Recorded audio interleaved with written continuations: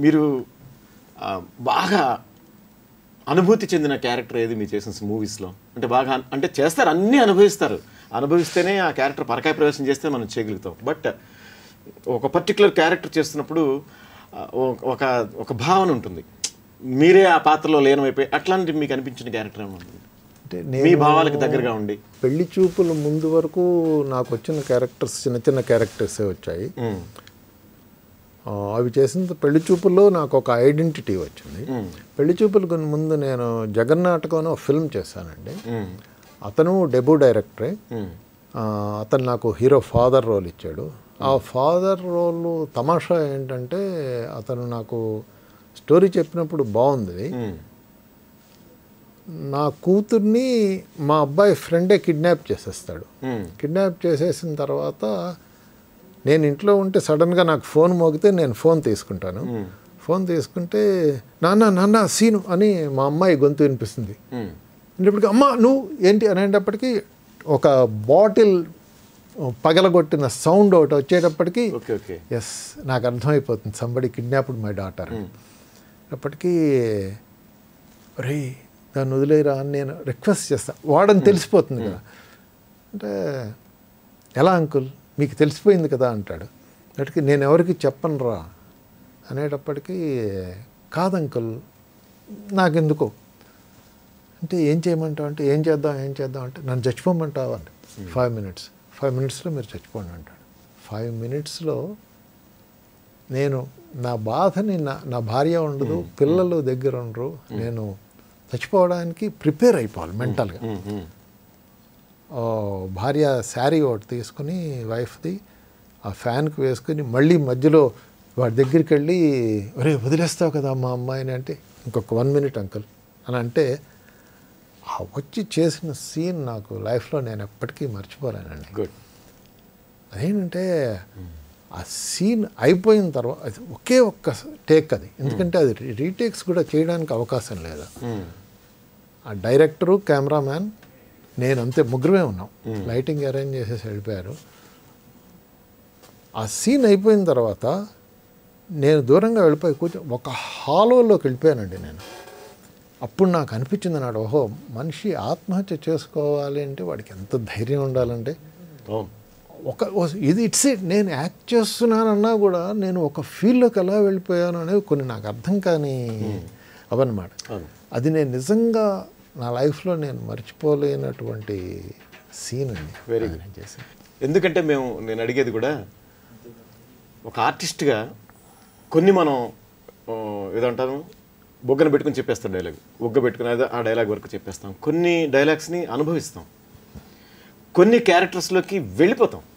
అసలు మళ్ళీ నీకు కట్ చెప్పే వరకు "అయ్, నేను సోన్ సో అనేది ఉండదు. కొంతమంది అట్లా వెళ్ళిపోతారు. ఎప్పుడైతే డబ్బింగ్ మీరు చెప్పుకుంటారా? నా డబ్బింగ్ మీ సినిమాలకు మీరే డబ్బింగ్ చెప్పుకుంటారా? అది ఎక్కడ తేడా వస్తుందంటే మీరు ఎంతో దాన్ని ఒక యాక్ట్ చేసేటప్పుడు చాలా ఫీల్ అయ్యి మీరు ఒక రైటర్ ఒక రకంగా ఒక రకంగా అనుకుని రాస్తాడు. మీరు యాక్ట్ చేసేటప్పుడు ఇంకొక రకంగా అవుతుంది. అయితే ఎప్పుడైతే మీరు మీ డబ్బింగ్ మీరు చెప్పుకున్నారో అది ఫుల్ ఫీల్ అవుతుంది. అయితే అఫ్ కోర్స్ డబ్బింగ్ చెప్పలేని వాళ్ళకి తప్పదు అనుకోండి డబ్బింగ్ ఫీల్ మీరు ఎలా ఫీల్ అవుతారు డబ్బింగ్ చెప్పేటప్పుడు? ఇంకొంచెం ఆ క్యారెక్టర్ని బెటర్ చేద్దామని చూస్తారా? ఎప్పుడూ అనిపిస్తుంది. ఎప్పుడు అరే ఇక్కడ ఇంకొంచెం ఇలా చేస్తుంటే బాగుండే అని ఎప్పుడు అది లేదనుకోండి నాకు సాటిస్ఫాక్షన్ ఉండదు. ఎస్ ఇక్కడ నేను ఇలా కాదు ఇలా చేస్తుంటే బాగుండేది అని ప్రతి క్యారెక్టర్కి అనిపిస్తుంది. అలా నాకు అనిపించిన క్యారెక్టర్ పెళ్ళి చూపుల్లో ఫాదర్ క్యారెక్టర్ అనిపించలే బాగా. అసలుకి అంతకంటే ఎక్కువ చేయడానికి లేదు లేదు. స్కోప్ లేదు. ఎందుకు ఇంతమంది ఆడియన్స్ పెళ్ళి చూపుల సినిమాని లైక్ చేశారని పెళ్ళి చూపుల సినిమా చూస్తుంటే దాంట్లో ఎవరు నటించలేదండి.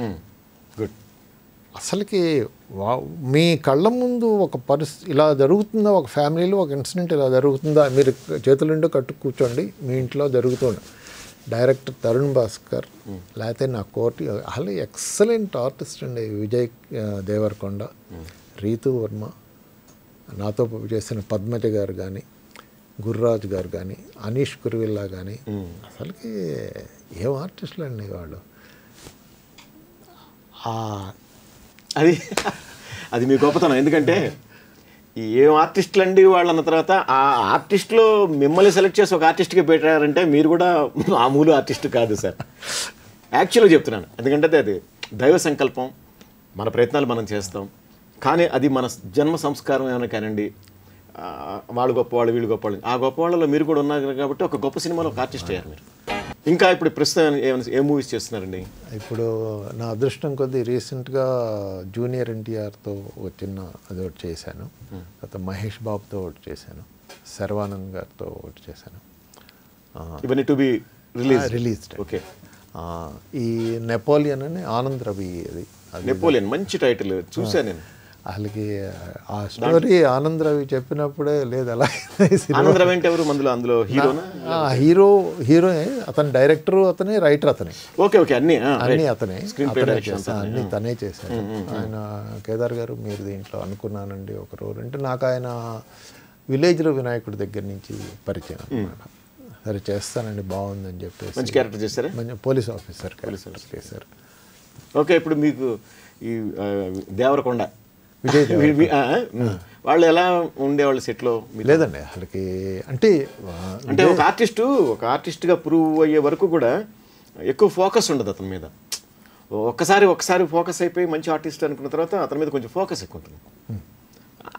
అంటే మీరు మంచి ఆర్టిస్ట్ని ఒప్పుకున్నారు ఈజ్ ఉంది మంచి ఈజ్ ఉంది.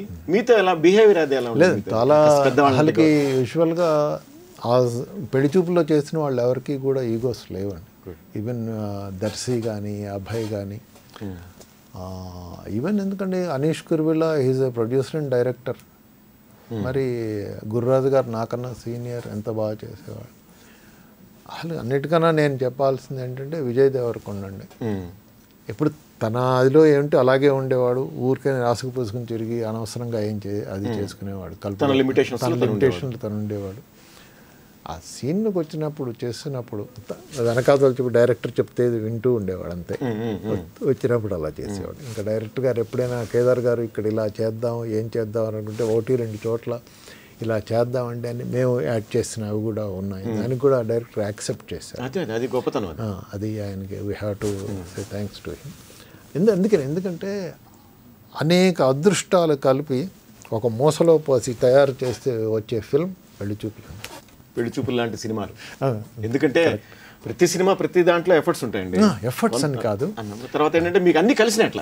ఒక స్టోరీ ఆర్టిస్టులు కానీ స్టోరీ కానీ ఒక మంచి పాయింట్ మంచి డైరెక్టర్ మంచి రైటర్ అన్నీ కలిసి వచ్చినాయి. కలిసి వచ్చి బాగా మామూలు సక్సెస్ కాదు కదా మంచి సక్సెస్ అయింది. తర్వాత ఇప్పుడు మాది వ్యవసాయానికి సంబంధించిన జై కిసాన్ న్యూస్ ఛానల్ కాబట్టి మీకు అసలు వ్యవసాయ బ్యాక్గ్రౌండ్ ఏమైనా ఉందా? అంటే నేను మీరు వ్యవసాయం చేశారని కాదు మీ అర్థమైంది. నేను విజయవాడ బ్రాటప్ అంతా విజయవాడ అయినా కూడా మాకు రేపల దగ్గర వెలటూరులో బట్టిప్రోల్లో పొలాలు ఉన్నాయండి మేము. విజయవాడలో మా ఫాదర్ వర్క్ చేసేటప్పుడు కూడా ప్రతిసారి సంక్రాంతి రోజుల్లో పొలం కొట్టి ఇంటికి వచ్చే సమయానికి మా ఫాదర్తో పాటు నేను వెళ్తుండేవాడిని పొలానికి. అలా పొలం. తర్వాత నా ఎయిత్ నైన్త్ టెన్త్ క్లాసెస్ నేను మా వెల్టూరులోనే చదువుకున్నాను. ఎప్పుడూ మా- ఆ లెక్కన పొలానికి వెళ్ళేవాళ్ళం. యూజువల్గా పంట నూర్చే సమయానికి పొలానికి వెళ్ళేవాళ్ళం. ఎందుకంటే అది అలవాటు లేనిది అది కాబట్టి వాళ్ళు కొడుతుంటే మేము కొట్టాలని నూర్చేటప్పుడు చేసేవాళ్ళం. ఆ అట్మాస్ఫియర్ ఇదే ప్యూర్ అట్మాస్ఫియర్ అండి. ఆ తెల్లవారుజామున మంచు పడుతూ ఉంటే సంక్రాంతి రోజుల్లో మంచు పడుతూ ఉంటుంది కదా. ఆ పొలాల్లో అవి అది చూస్తుంటే చాలా ఆనందం వేసేది. ఇంకా మాకు పొలం ఉందండి. నేను రైతుని బేసికల్గా కాకపోయినా కూడా ఐ లవ్ ఆ పొలమే మా ఫాదర్ రిటైర్ అయిపోయిన తర్వాత ఆ పొలమే మా నలుగురు పిల్లలకి ఆధారమైంది. మాకు చదువుకుని పైకి రావడానికి ఆ పొలమే ఆధారమైంది. దాని మూలంగా మేము ఇంకా ఆ పొలాన్ని అలాగే ఉంచాం మేమేం అమ్మలేదు. మరి మీరు అగ్రికల్చరల్ సైడ్ వెళ్ళకుండా మళ్ళీ ఫార్మాస్యూటికల్కి అంటే పరిస్థితుల ప్రభావమా? లేకపోతే అంత అవగాహన లేకపోవడమా? అంటే ఆ పొలం పనులకి I'm not accustomed to that కదా. అలవాటు పడని అది. ఎందుకంటే దానికి అల మొట్టమొదటి నుంచి అలవాటు పడ్డ వాళ్ళు వేరేగా ఉంటారు. ఇది వేరేగా నేను అలవాటు పడలేదు. పడుంటే వెళ్ళేవాడినేమో నాకు తెలియదు I always love them I always love రైతులు వాళ్ళంటే నాకు ఇష్టం. మరి మీరు వాళ్ళతో ఏమైనా షేర్ చేసి తెలుసుకుంటే మీ మనసులో మాటలు వాళ్ళకి చెప్పండి చాలు.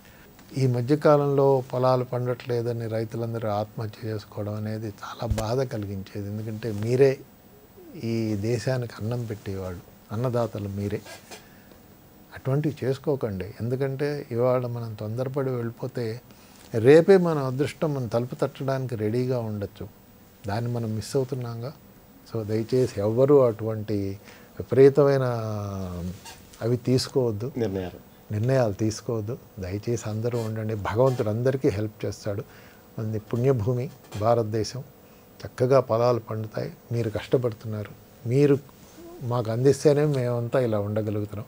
మీరంతా సుఖంగా ఉండాలని నేను ఆ భగవంతుని ప్రార్థిస్తున్నాను. Thank you. Thank you so much Kedar Shankar garu. ఇంత చేసి మన వ్యవసాయాన్ని కూడా టచ్ చేసి మన బ్యాక్గ్రౌండ్ ఉందంటే వారు చెప్పిన మాటలు చాలా స్ఫూర్తిదాయకం. నిజంగా కూడా ఆయన చెప్పింది అక్షర సత్యం. కాబట్టి మన రైతు సోదరులందరూ కూడా మనోధైర్యాన్ని కోల్పోకుండా రేపటి మీద ఆశ ఖచ్చితంగా రేపు అనేది మనది ఉంటుంది మీ మన కోరిక మేరకు మన స్టూడియోకి వచ్చి ఇంతసేపు మనతో సరదాగా కాసేపు ముచ్చరించిన కేదార్గా పిలబడే కేదార్ శంకర్ గారికి మన ప్రేక్షకులందరి తరఫున కూడా కృతజ్ఞతలు తెలియజేస్తున్నాను.